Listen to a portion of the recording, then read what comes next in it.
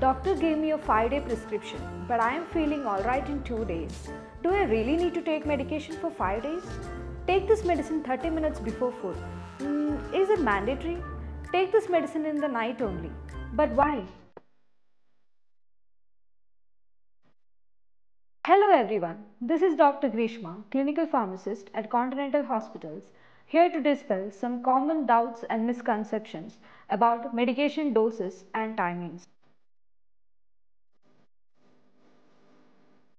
Explaining your medical history to the healthcare professionals is crucial for accurate diagnosis, effective treatment, and accurate prescriptions.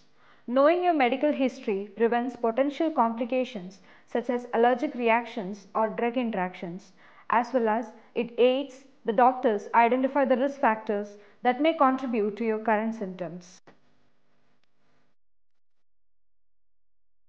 Timely administration of your medications is vital.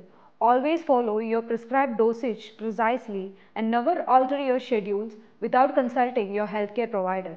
Some medications may require ongoing dosage adjustments, so regular follow-ups with your healthcare professionals are key to enhancing your quality of life. Sometimes medications can interact with each other in ways that may reduce their effectiveness or cause unwanted side effects. It is really important that you share all the medications you are taking including OTC drugs, multivitamins and supplements so that we can avoid any harmful interactions. Make sure to take your medications exactly as prescribed and don't make changes to your dosage schedule without consulting your healthcare provider.